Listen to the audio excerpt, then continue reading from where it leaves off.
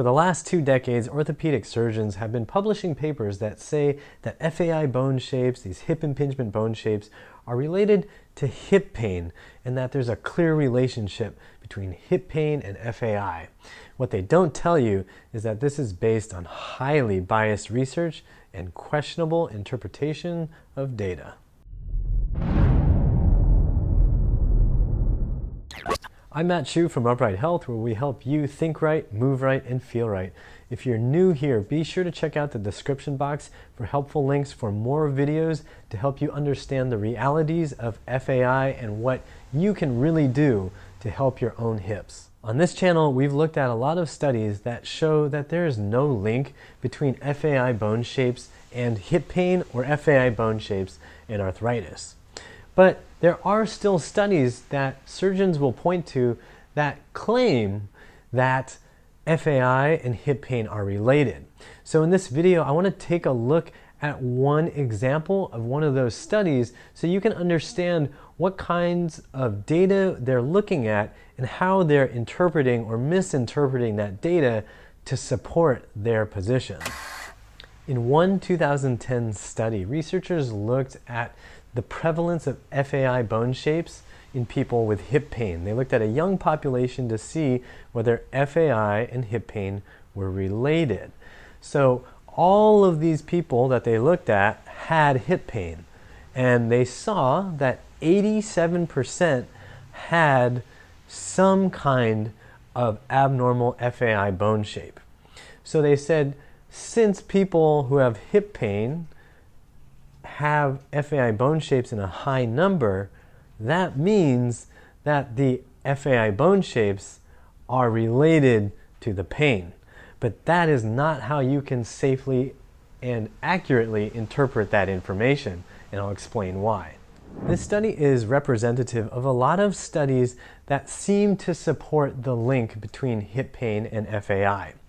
These studies will look at a group of people who all have hip pain and say, look, these people have FAI bone shapes, therefore, these things are related. But that really doesn't work.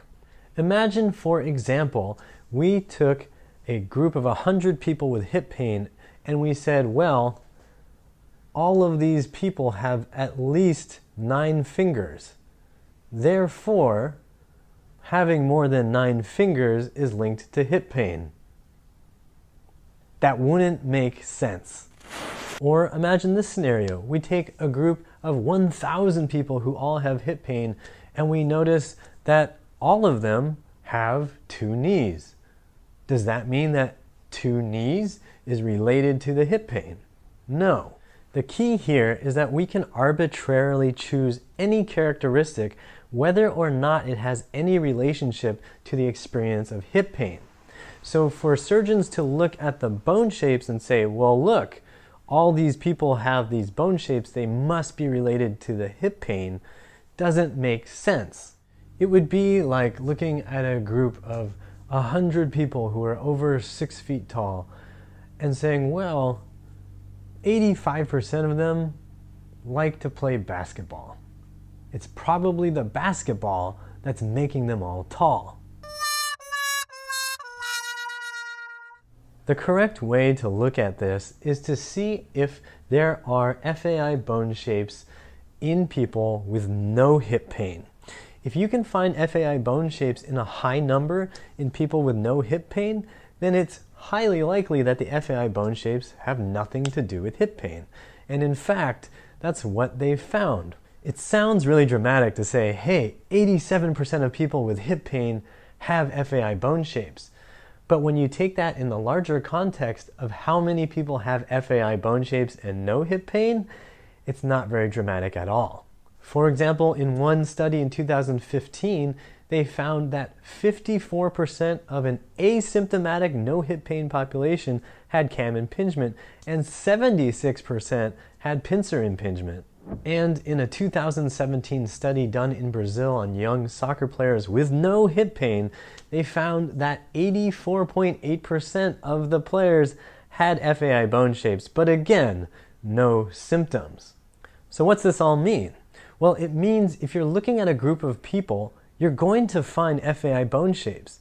But those FAI bone shapes don't have a relationship to whether or not those people have pain. You could take a group of 100 people who have hip pain, and you could take a group of 100 people who have no hip pain, and you'd find a lot of signs of FAI in both groups. So it's impossible to say that it's the FAI bone shapes that are causing the problem. In the same way, if you took 100 people who have the flu and 100 people who don't have the flu, and you said, well, this group drinks water and this group drinks water, you'd have no conclusion to make about the water and the groups with flu and not flu because the water is not the determining factor of whether or not this group has the flu or this group has the flu. It's irrelevant. If bone shapes aren't relevant, what is relevant? From our experience training people with hip pain and helping them get out of hip pain, what's relevant is muscle balance and muscle control. It's very easy for the muscles around the hip to atrophy, to get stiff, to get very weak from our modern sedentary lives. We spend a lot of time sitting, we spend a lot of time doing repetitive tasks in the same position all the time. The muscles around the hip joint require much more activity and training than what we do on an average basis. A lot of us are engaged in sports in a repetitive fashion. We're always in the same positions, running the same way, getting into the same ready stance, and that trains the hips to only move in very specific ways. And once you've lost other pieces of the range of motion, you start to experience discomfort and pain. And the only safe way and the only right natural way to address that is to gradually train those muscles to do the right thing. We've seen this approach work for people who use our FAI Fix program online. We've seen this work in person when people come to work with us in our studio in California. We know this approach works, and we also know it can be tough and takes time. The big takeaway here is that it's not a quick fix it can take time to get severe hip pain to go away. And it can be a tough process of exploration and persistence to get your hip muscles to start working better. One of the key things that we often remind our clients is not to get overly concerned or let fear take over when they feel pain and discomfort in their hips. There are a lot of small muscles around the hip joint that can feel just really sharp and really intense when you start to use them or when you put them into specific positions.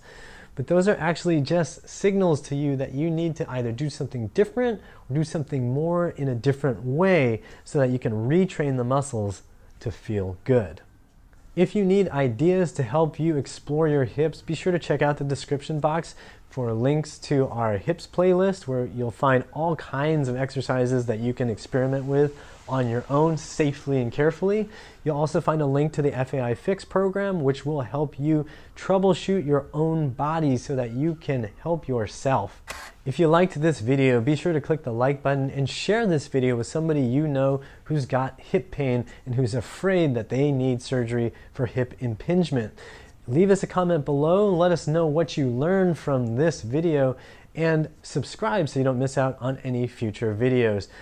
As always, I hope you remember that pain sucks. Life shouldn't.